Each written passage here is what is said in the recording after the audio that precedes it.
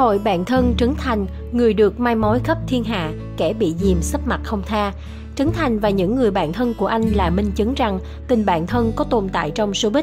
Chẳng những thường xuất hiện cùng nhau trước công chúng, mà ngoài đời họ cũng thường xuyên sát cánh giúp đỡ nhau. Hội bạn thân của Trấn Thành gồm những nghệ sĩ nổi tiếng của làng giải trí Việt và họ đều là những người vui tính, diễn viên Anh Đức, ca sĩ Trịnh Thăng Bình, diễn viên Lê Giang, diễn viên Hải Triều, diễn viên BB Trần. Vì sự hài hước thông minh lém lĩnh giống nhau nên hội bạn này nói chuyện với nhau rất thoải mái vui vẻ. Trấn Thành cùng những người bạn thân thường đi ăn đi du lịch cùng nhau và ghi lại những khoảnh khắc hài hước khiến khán giả thích thú. Không những vậy, họ còn đồng hành cùng nhau trên sân khấu, các chương trình game show và họ không ngại dìm nhau trước công chúng. Không còn xa lạ gì khi những gương mặt quen thuộc như Trịnh Thăng Bình, BB Trần thường xuyên xuất hiện trong khung hình của Trấn Thành. Khán giả đã quá quen với những câu đùa ngộ nghĩnh của Trấn Thành cùng những người bạn thân trong game show như đưa anh Đức đi làm mai khắp showbiz. Em, bạn nghĩ sao về diễn viên anh Đức? Họ dường như chật chờ những sơ hở để dìm nhau, tạo tiếng cười cho khán giả. Harry Won thường xuyên cùng chồng đi chơi cùng với những người bạn thân thiết này. Trấn Thành là danh hài, MC nổi tiếng của Việt Nam với tài năng diễn xuất, khả năng ứng biến, sự hiểu biết rộng, sự chân thành và anh là người sống tình cảm nên khi đi chơi với những người bạn thân, anh luôn có những giây phút trêu đùa hài hước và rất gắn bó. Và khi các gương mặt đình đám làng hài hội ngộ, bạn biết độ mặn cỡ nào rồi đấy.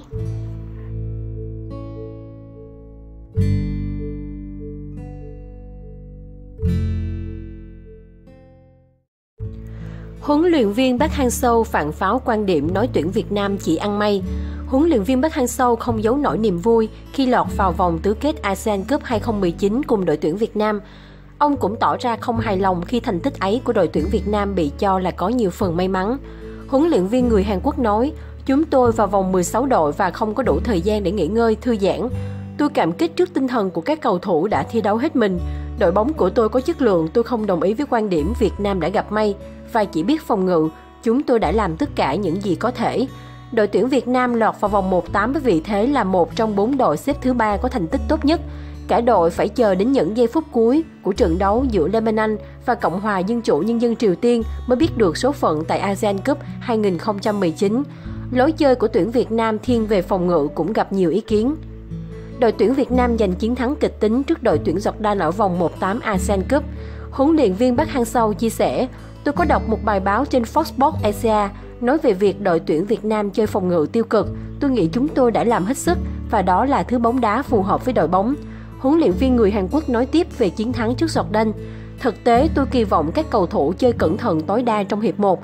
Ở bàn thua đầu tiên, họ đã làm tốt nhất có thể rồi, huấn luyện viên Park Hang-seo giải bày.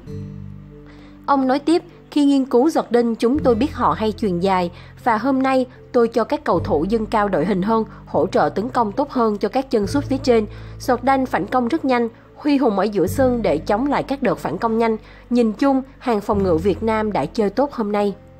Đội tuyển Việt Nam gặp bế tắc ở hiệp 1 nhưng lại chơi cực hay trong hiệp 2. Huấn luyện viên Park Hang-seo cười khi nghe câu hỏi về việc đã làm gì để kích thích tinh thần đội ở giờ nghỉ giữa hiệp. Tôi không làm điều gì đặc biệt, tôi chỉ nhắc nhở những đường truyền dài qua hàng phòng ngự đối phương, tìm khoảng trống phía sau lưng họ. Quang Hải di chuyển ra biên nhiều hơn, thỉnh thoảng hãy vào nhận giữa bóng. Cuối cùng là không bao giờ đầu hàng, huấn luyện viên Bắc Hang Sâu nói. Với chiến thắng này, đội tuyển Việt Nam sẽ tiếp tục ở lại Dubai và đối đầu với đội tuyển Nhật Bản. Trận tứ kết của đội tuyển Việt Nam sẽ diễn ra vào ngày 24 tháng 1 tới.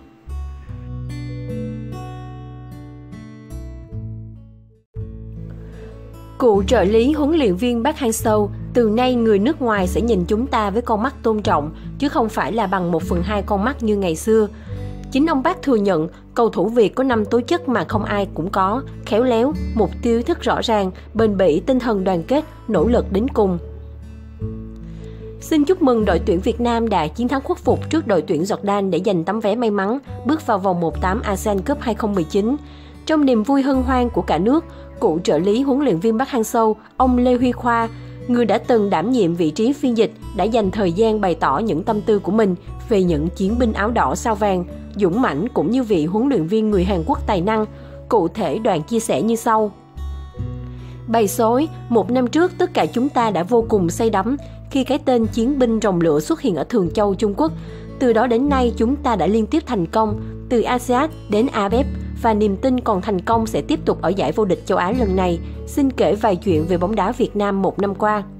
Cách đây một tuần, một người Hàn Quốc rành bóng đá nói với tôi, thật ra kết quả một năm nay của tuyển Việt Nam có được chứng minh các cầu thủ Việt Nam có tài năng, họ có quyết tâm và có nghị lực, có khao khát thực sự. Bây giờ thì chúng ta đã có niềm tin rằng người Việt chúng ta có trí tuệ, có năng lực, có mục tiêu rất rõ ràng thì sẽ chiến thắng. Chính ông Park thừa nhận cầu thủ Việt có năm tố chất mà không ai cũng có, khéo léo, mục tiêu ý thức rõ ràng, bền bỉ, tinh thần đoàn kết và nỗ lực đến cùng. Cách cầm quân của ông bác là điểm chấm hoàn thiện trên chữ Y, một sự kết hợp hoàn thiện giữa phong cách quản lý Hàn Quốc và nguyên liệu thành công Việt Nam. Ông bác không cải cách gì nhiều về lối chơi áp dụng nhất quán phương châm chơi phòng thủ phản công. Về quản lý nhân sự lấy tôn chỉ đoàn kết, tính đồng nhất, đồng lòng chuẩn bị chu đáo với chiến thuật cho từng trận rất rõ ràng và phân tích đối phương rất chi tiết, không được chơi những thứ thừa thải. Đội bóng của ông dẫn dắt như hình ảnh của ông, nhìn bề ngoài ông ấy có vẻ nhút nhát rụt rè và hay xấu hổ, nhưng bên trong cứng rắn vô cùng, cương quyết thực dụng và quyết không bao giờ tha cho con mồi khi quyết thắng ở mọi trận đấu. Chính ông bác nói, có gì tôi dặn hết rồi, mọi việc trên sân các cầu thủ sẽ tự biết phải làm gì. Hỏi cầu thủ có mệt không? Mệt chứ, nhưng mệnh lệnh phải thắng khiến cho họ không bao giờ lơi lỏng một chút nào. Chạy không mệt mỏi, tập trung đến giây phút cuối cùng, có vẻ ông Park đã tìm ra công thức chiến thắng cho đội tuyển Việt Nam. Xin phép dùng từ lối chiến thuật bày sói đỏ để miêu tả chút, đã trưởng thành thực sự nhẹ nhàng nhưng quyết liệt, không chơi xấu, không biết sợ, không rối, chơi bóng khôn ngoan, cương nhu rõ ràng, người này hỏng bóng thì người kia lót, tận dụng cơ hội hiệu quả, cự ly đội hình chặt chẽ, vây ráp đối thủ ngạt thở, làm cho họ hoảng sợ, chỉ đập nhã một hai chứ không còn đột phá hay chơi bóng cá nhân như ngày xưa. Tính tổ chức cao, có lúc phá lối chơi đối thủ khiến cho họ không biết phương hướng nào mà lần, và cuối cùng sẽ sử dụng miếng đánh. Chí tự để tiêu diệt đối phương, tất cả điều này kế thừa từ giải này qua giải khác, thua không nản, thắng không kêu. Các đội bóng Trung Đông thường chơi bốc nếu như họ áp đặt được lối chơi, còn nếu không áp đặt và không triển khai được lối chơi thì họ xuống tinh thần rất nhanh và thời gian càng thi đấu càng trôi đi thì họ sẽ tự mâu thuẫn mà thua. Ông Park quá rành điều này và đây có thể là tiền đề để chúng ta tiếp tục gặp họ và chiến thắng trong tương lai.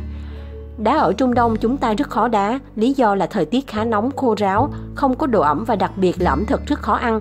Ba trận đầu tiên ở vòng bảng, chúng ta gần như kiệt sức vì có lẽ món ăn không hợp khẩu vị, nhưng hy vọng thì bây giờ họ đã quen để đủ sức đi tiếp vào vòng trong. Tuyển chúng ta có một chu kỳ 3 trận, nghĩa là từ trận thứ ba đi sẽ trở nên tốt hơn rất nhiều. Đặc biệt chúng ta rất hay bị ép vì trọng tài, chỉ vì không cùng khối Ả Rập. Bóng đá nó không phải là bóng đá, nó là hình ảnh sự nỗ lực trí tuệ của một dân tộc. Từ nay người nước ngoài sẽ nhìn chúng ta với con mắt khác tôn trọng chứ không phải là bằng một phần hai con mắt như ngày xưa. Ở giải đấu này, các trọng tài đã không còn bắt ép Việt Nam như trước đây nữa. Thậm chí Việt Nam từ nay trở đi sẽ được coi là một đội bóng mang lại niềm cảm hứng cần thiết cho bất kỳ giải đấu nào. Đá ben thì ai tinh thần mạnh hơn bên đó thắng thôi. Bây giờ thì không ai nói Việt Nam yếu bóng vía nữa nhé. Chỉ mong rằng kết quả bóng đá sẽ lan tỏa sang lĩnh vực khác. Như lời Thủ tướng Nguyễn Xuân Phúc đã nói một năm trước đây, sung sướng quá, cứ vui thôi.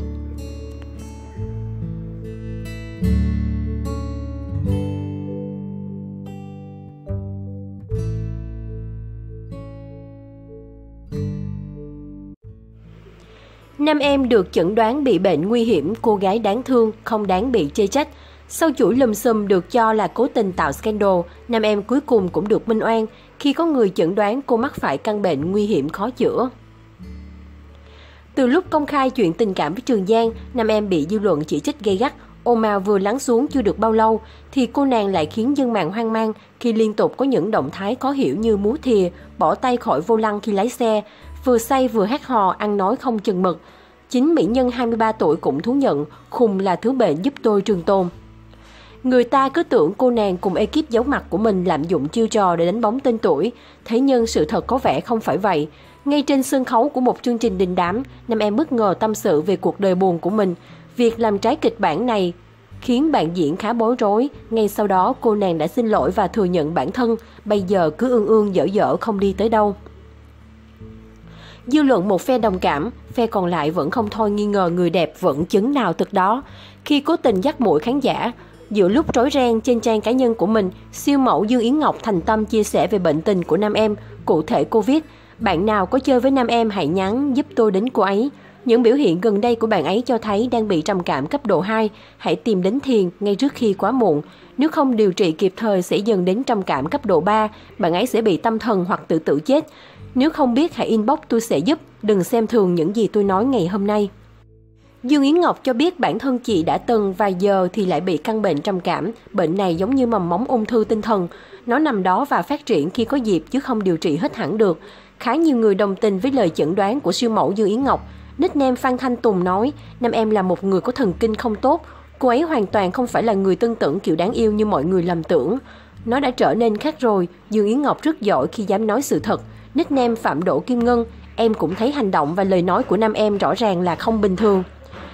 Nếu đúng như lời Dương Yến Ngọc thì quả thật nam em đáng thương và tội nghiệp chứ không hề chiêu trò và tương tẩn như những gì khán giả vẫn nghĩ. Thực tế đó là một cô gái xinh đẹp thông minh nhưng trái tim dễ tổn thương, cho nên cùng là phận phụ nữ với nhau, thiết nghĩ chị em cần có cái nhìn bao dung bớt chỉ trích soi mói hơn đối với nam em, để cô ấy có thể bình tâm an yên sau sóng gió. Tuy nhiên bản thân cô ấy cũng phải biết trân trọng bản thân, giữ gìn sức khỏe và hình ảnh của mình thì mới mau chóng lấy lại được tinh thần. Lúc nào cũng chủ quan hời hợt bỏ quên mình thì rất khó để cải thiện tình hình.